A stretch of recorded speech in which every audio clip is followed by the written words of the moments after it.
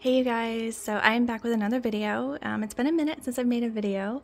Um, truth be told, I've been trying to make videos, but they just never seem to quite go well. Something always happens, so I'm to make this short and sweet.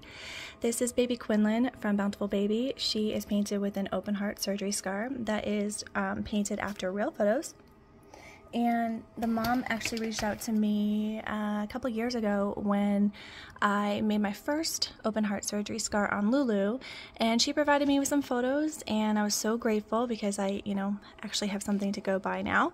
Um, yeah, so this is Quinn. She is on a um, cuddle body from Irresistibles. It's Baby Yoda, and lots of photos over on the website. So if you guys are interested, go check her out. I also have Kelsey Awake over there.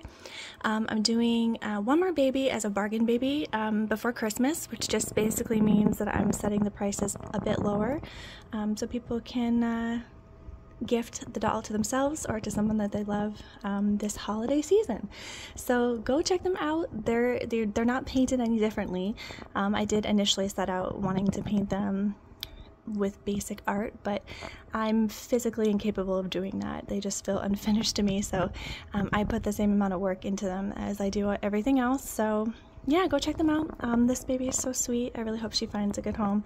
And uh, thanks for watching and I will see you in my next video.